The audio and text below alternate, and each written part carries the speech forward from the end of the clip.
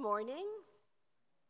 Uh, welcome to First United Methodist Church of Fort Lauderdale. A warm welcome to everyone worshiping with us here on, and in the sanctuary, and to those of you who are worshiping online. Now, you could be anywhere else this morning, but you chose to be here, and that's beautiful. My name is Sharon Dove, and I am on staff here at First United Methodist Church. And um, Pastor Jill is recuperating from illness.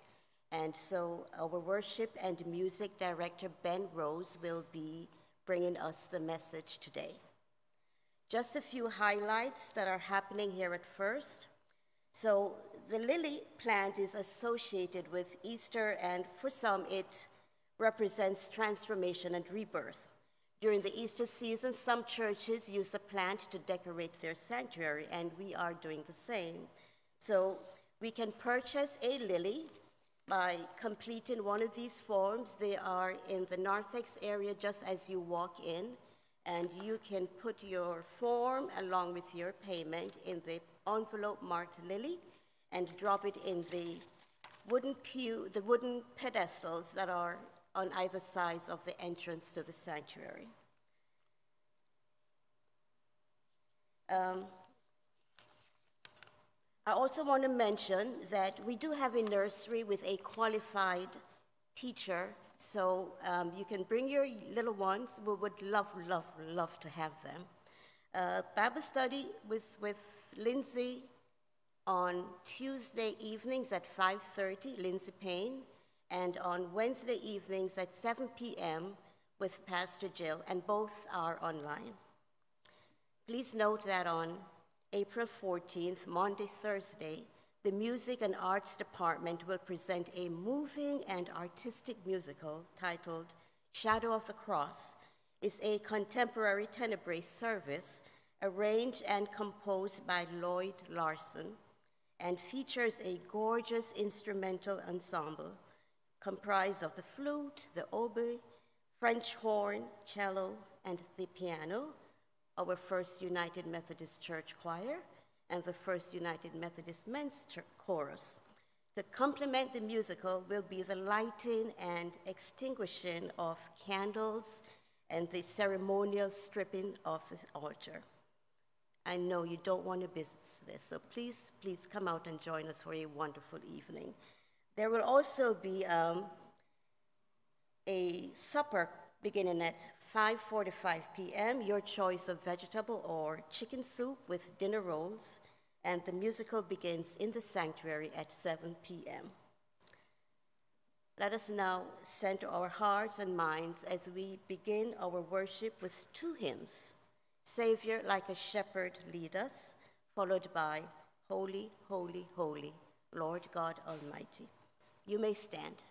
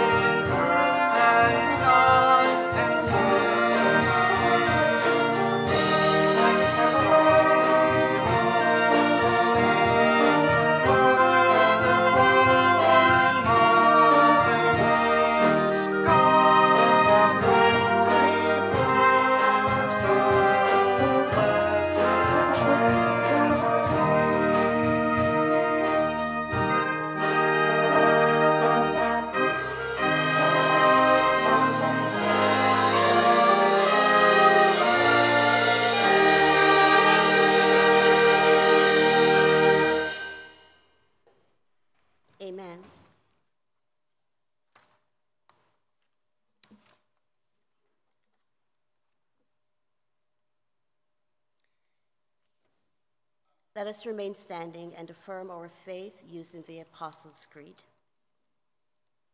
I believe in God the Father Almighty, maker of heaven and earth, and in Jesus Christ, his only Son, our Lord, who was conceived by the Holy Spirit, born of the Virgin Mary, suffered under Pontius Pilate, was crucified, dead, and buried. On the third day he rose from the dead he ascended into heaven and sitteth at the right hand of God the Father Almighty. From hence he shall come to judge the quick and the dead. I believe in the Holy Spirit, the holy Catholic Church, the communion of saints, and the forgiveness of sins, the resurrection of the body, and life everlasting. Amen.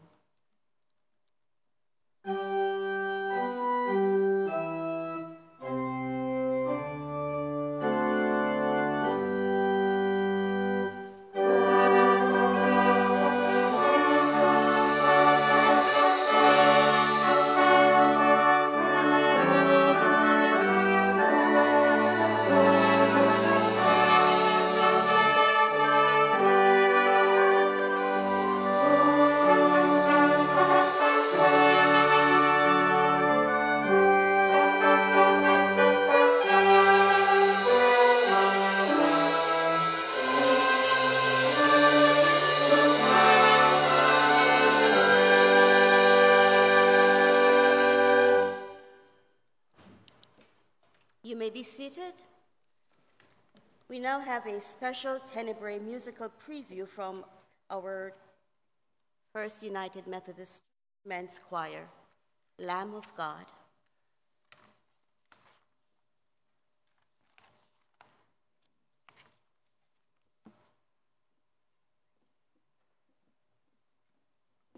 Good morning. So today's musical preview is uh, one of our contemporary pieces our men's choir will be singing this in our musical coming up. It's called Lamb of God. And last week we heard from our chancel choir a contemporary piece called You Are My All in All. Today is Lamb of God. And next Sunday, April 3rd, our choir will be presenting a, a gorgeous ballad called When You Prayed Beneath the Trees. There are nine numbers in this musical, so you will have heard three of them by next week. And there are also many traditional hymns that are included in the musical with opportunities for you to join us and sing and praise as well. So now our men's chorus would like to present Lamb of God.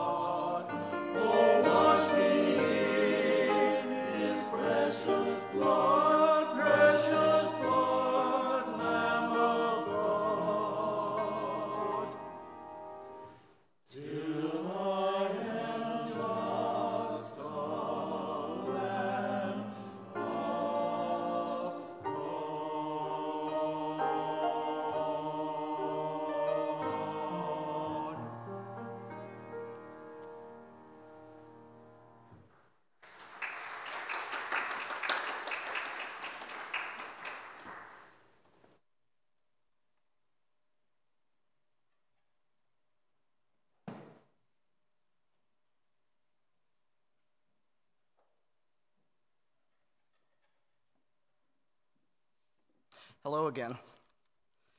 Um, so it's, it's my honor to be your uh, music and worship arts director here going on three years now. And I am so um, happy to be asked to spread the message today on behalf of Pastor Jill. And Pastor Jill, I know you're watching, I know you're out there. So thank you for the opportunity, and thank you to our wonderful musicians and our men's choir today. So, for our scriptures today, I'd like to begin with the book of 1 Samuel, chapter 17, verses 38 through 50. We all know it, we've all heard it before. Then Saul dressed David in his own tunic. He put a coat of armor on him and a bronze helmet on his head. David fastened on his sword over the tunic and tried walking around because he was not used to them. I cannot go in these, he said to Saul, because I am not used to them. So he took them off. Then he took his staff in his hand, chose five smooth stones from the stream, put them in the pouch of his shepherd's bag, and with his sling in his hand, approached the Philistine. Meanwhile, the Philistine, with his shield bearer in front of him, kept coming closer to David. He looked David over and saw that he was little more than a boy, glowing with health and handsome, and he despised him. He said to David, Am I a dog that you come at me with sticks? And the Philistine cursed David by his gods. Come here, he said, and I'll give your flesh to the birds and the wild animals. And David said to the Philistine, You come against me with sword and spear and javelin, but I come against you in the name of the Lord Almighty, the God of the armies of Israel, whom you have defied. This day the Lord will deliver you into my hands, and I'll strike you down and cut off your head. This very day I will give the carcasses of the Philistine army to the birds and the wild animals, and the whole world will know that there is a God in Israel. All those gathered here will know that it is not by sword or spear that the Lord saves, for the battle is the Lord's, and he will give all of you into our hands. And as the Philistine moved closer to attack him, David ran quickly toward the battle line to meet him Reaching into his bag and taking out a stone, he slung it, and he struck the Philistine on the forehead. The stone sank into his forehead, and he fell face down on the ground. So David triumphed over the Philistine with a sling and a stone. Without a sword in his hand, he struck down the Philistine and killed him. Our next reading is from 2 Samuel chapter 7, verses 18 through 26. Then King David went in and sat before the Lord, and he said, Who am I, sovereign Lord, and what is my family that you have brought me this far? And as if this were not enough in your sight, sovereign Lord, you have also spoken about the future of the house of your servant, in this decree, sovereign Lord, is for a mere human what more can David say to you? For you know your servant, sovereign Lord. For the sake of your word and according to your will, you have done this great thing and made it known to your servant. How great you are, sovereign Lord. There is no one like you, and there is no God but you, as we have heard with our own ears. And who is like your people Israel, the one nation on earth that God went out to redeem as a people for himself? and to make a name for himself, and to perform great and awesome wonders by driving out nations and their gods from before your people, whom you redeemed from Egypt? You have established your people Israel as your very own forever, and you, Lord, have become their God. And now, Lord God, keep forever the promise you have made concerning your servant and this house. Do as you promised, so that your name will be great forever. And then people will say, The Lord Almighty is God over Israel, and the house of your servant David will be established in your sight. And now I would invite you to recite with me. I'm sure some of you have it memorized, but the gorgeous Psalm of David, Psalm 23. Please recite it with me. The Lord is my shepherd, I shall not want. He makes me lie down in green pastures. He leads me beside still waters. He restores my soul. He leads me in paths of righteousness for his name's sake. Even though I walk through the valley of the shadow of death, I will fear no evil, for you are with me. Your rod and your staff, they comfort me. You prepare a table before me in the presence of my enemies. You anoint my head with oil, my cup runneth over. Surely goodness and mercy shall follow me all the days of my life, and I will dwell in the house of the Lord forever. And this is the word of God for the people of God. Thanks be to God. Let us pray. O oh, Heavenly Father, thank you for allowing us to gather in your house. May your word come through this message today and bless all whom seek to hear it. Amen. Well, during our Heroes of Faith sermon series throughout the past few weeks, we've learned about Joseph and Moses, Joshua, Ruth, and last week, Sarah. So today, I'll be speaking on another faith hero, David, and how he was really a game changer for modern worship as we know it today. From his earliest days, David had a very special and intimate relationship with God that he uniquely expressed through music and poetry.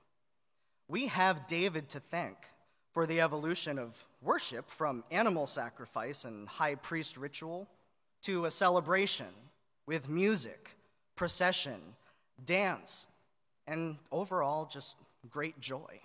We want church to be a place where you can come and be happy and celebrate and praise God. I would like to invite my colleague, he's a familiar face here at the church. He sings with our choirs and he plays trumpet, and he is a good friend of mine, Christian Dorsey. I would like to invite him up to showcase the art of a short spoken word piece. It's a beautiful poetic form of praise that is used to praise God and I'm thankful that he shared that with us today. Christian. Good morning. Uh, thank you again for the opportunity. Once again, it's a friend and a colleague. Um, so, this, this short piece is a reflective poem, and it's simply called The Loser's Choice. Failed relationship runs deep, stems from my parents' divorce, Adam and Eve. Humanity driven off course by a single choice, they failed to see it through. I don't condemn them, though. Still, they rise. But this isn't the typical redemptive story. No, they don't get back together, though they realize they should. They found their one, but now they are bound to the present, asking the question of what could have. So when I came across the question of what will I do, desperate from the knowledge of seeing what happens when you give up, I did all I could to see us make up. But still, you left me, dazed and confused. No, I wasn't perfect, but in, in my effort to do all I could, I was left with no answer. That hurt more than any cross. Because in my pride, I was willing to pay any cost, never once considering that it takes two to pull through, both on one accord. That's the scary part about love the fact that each one has choice. And then there's the beauty of it that no matter who or what you choose, you will always be God's first choice, unconditionally yours. Um, now, it may seem a little off topic, but I, I, I chose that when presented with this opportunity because I don't know if we realize, but we spend most of our lives, whether it's something from when we we're younger or throughout life, seeking approval, seeking to express, seeking to be welcomed, seeking to be loved right? And we express that through the way we dress, the way we speak, the jobs we do, the things we say. And what I just really want you guys to get from this is that beyond any of that, I hope that you choose to, re- to respond, that you make the choice to love in response to the fact that God chose you. You don't have to do anything to choose that, to be chosen. You don't have to do anything to receive that. I just pray that you receive it just like David did at a young, early age. He dealt with loneliness, he was the forgotten son. He was by himself a lot. But he's able to speak and praise and worship and joy because he received and chose to love back. May we all learn to worship walk and live in a way that's beautiful and about our response and the love of God. Thank you.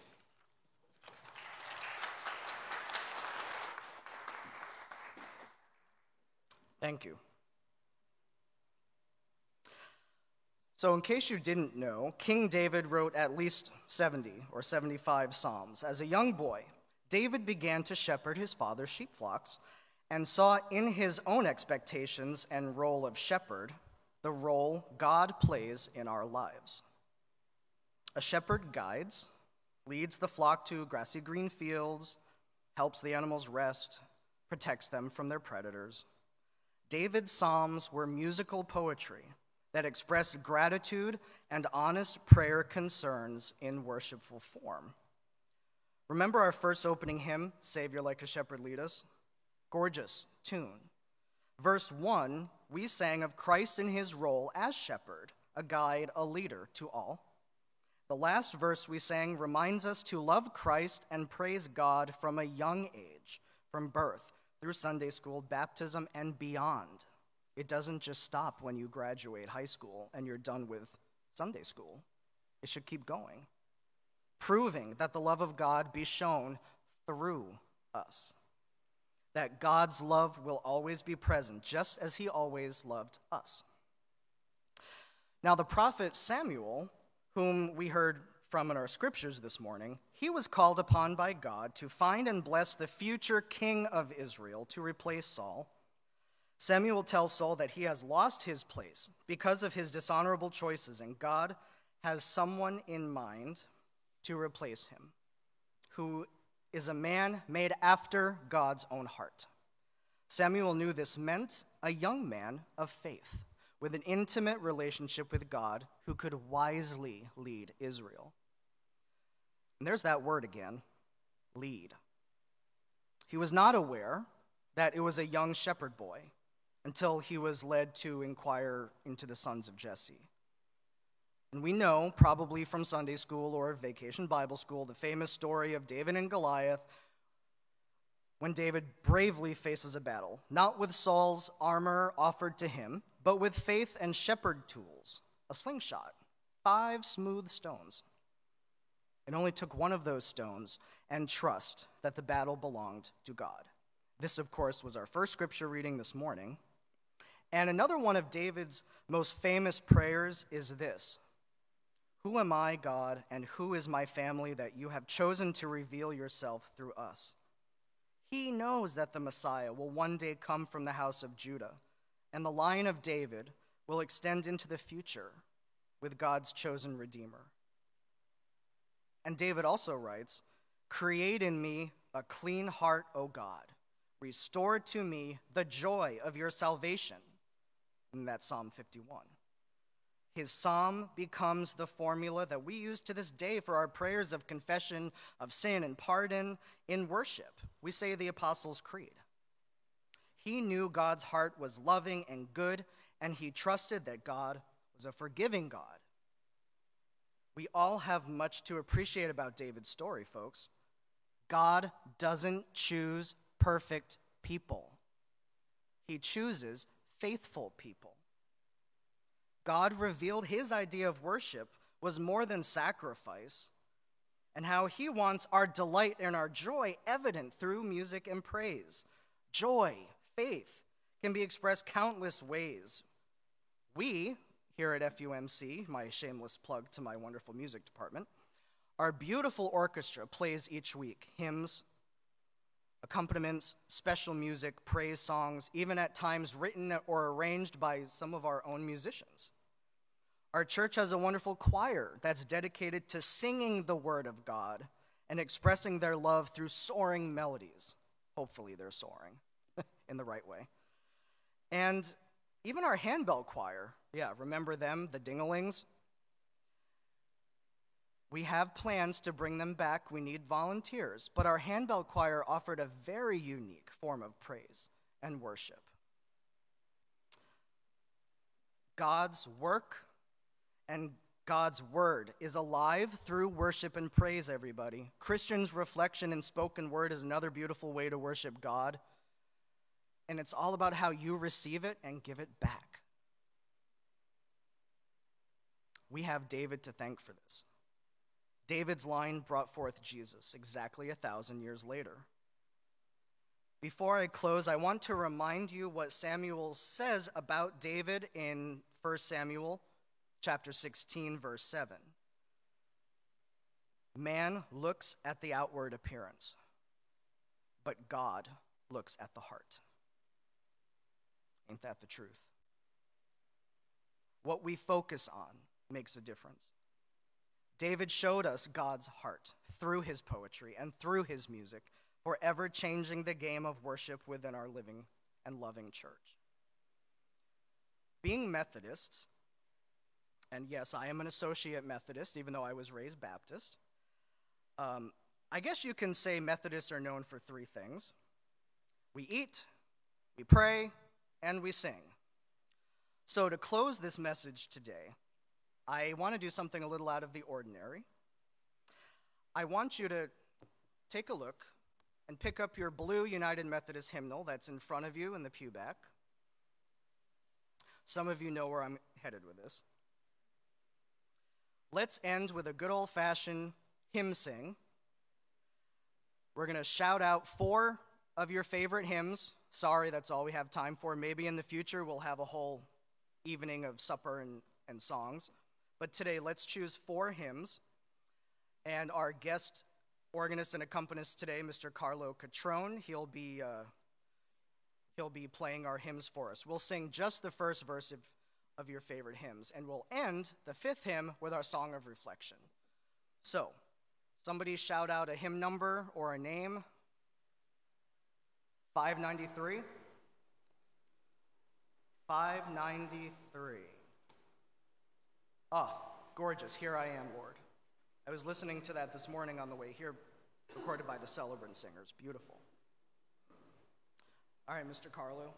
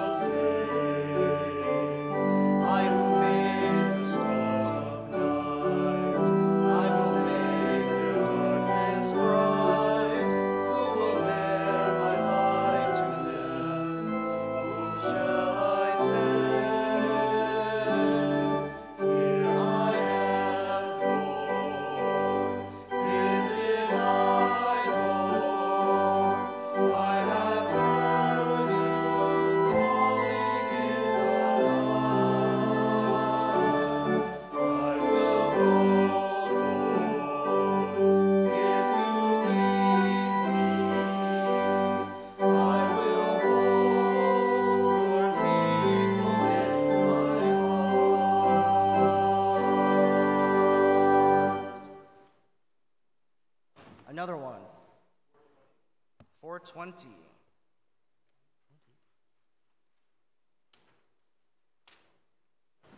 Breathe on me, breath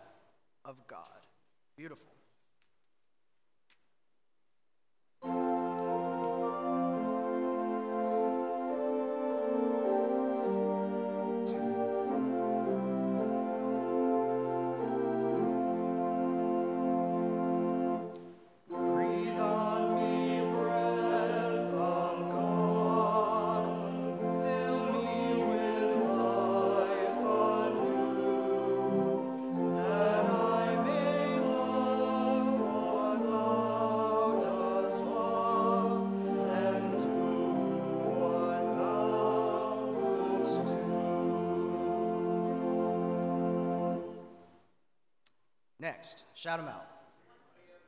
Uh oh. 302? You're next. Oh, Mighty Fortress. Let's do 302 and then Mighty, Mighty Fortress. All right, 302.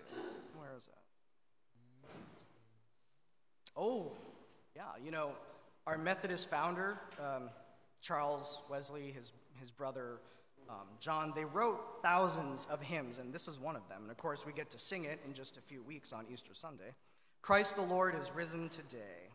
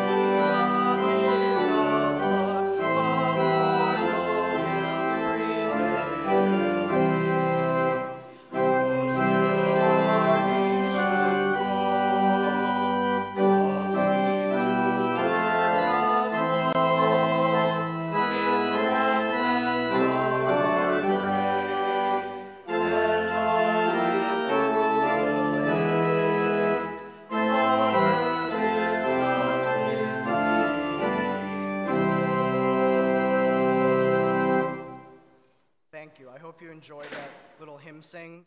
It's so great for me to stand here because I can hear you. and let's close our hymn sing and our sermon today with our song of reflection, Blessed Assurance. You can put your hymnals away. And the reason we use, just in case you're wondering, sometimes I get asked why we don't use the hymnals. Our orchestra plays from a beautiful hymnal called the Celebration Hymnal. It has all of our Methodist hymns but they're sometimes have different lyrics or ones that suit our message that day. So we put those lyrics on the screen. That way you're not confused and wondering why are, are they going rogue and just singing whatever they want. Okay. Blessed assurance.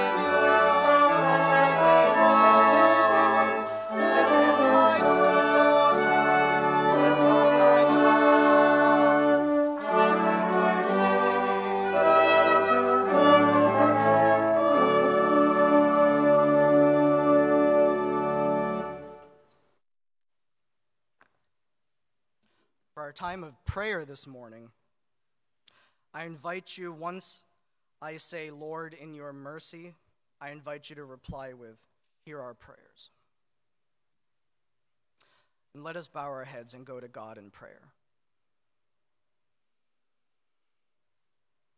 Lord, thank you for being our good shepherd.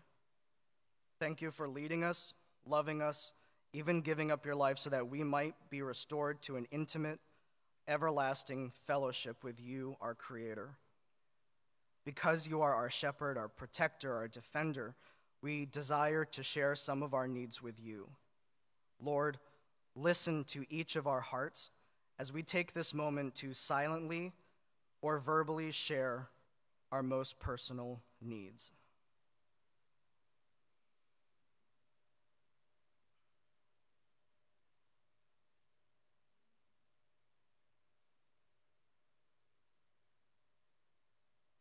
Lord, in your mercy, hear our prayers. Lord, help us in the growth process of our spirituality.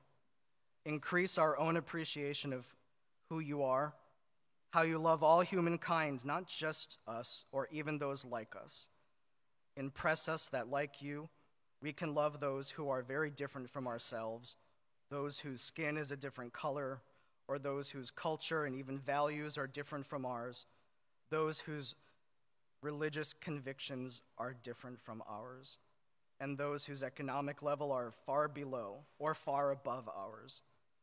Because you love all, we ask that you help the oppressed of the earth, the victims of hunger, the victims of racial discrimination, and those whose individual freedoms are prohibited by forces which initiate great injustice. Lord, in your mercy, hear our prayers.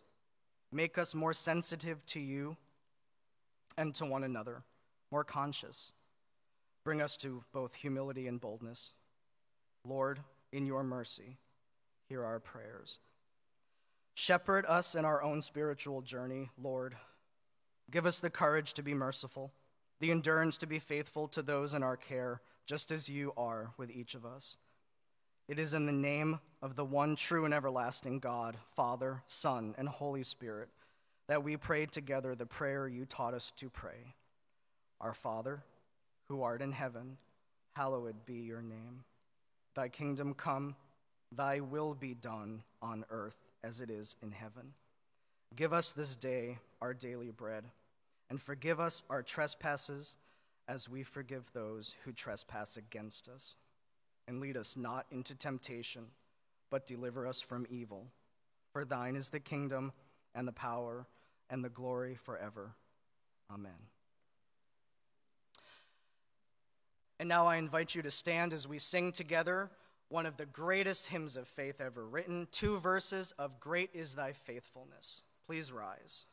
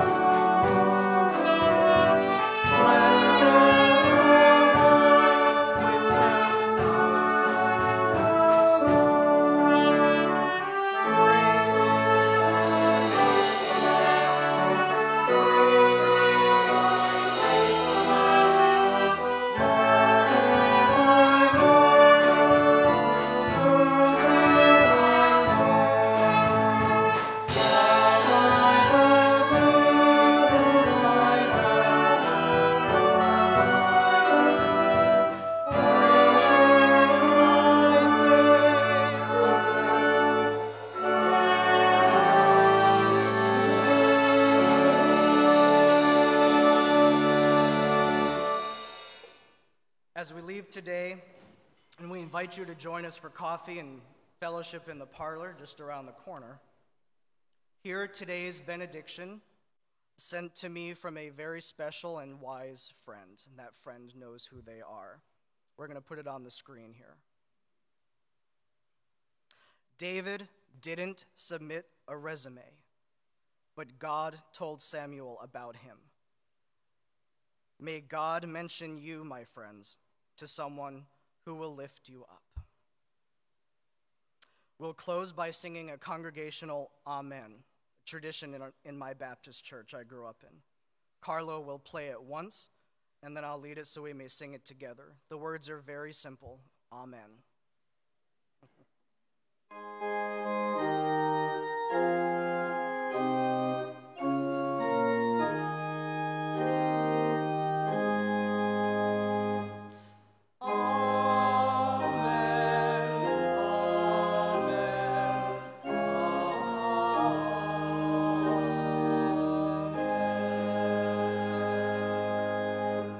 God bless you.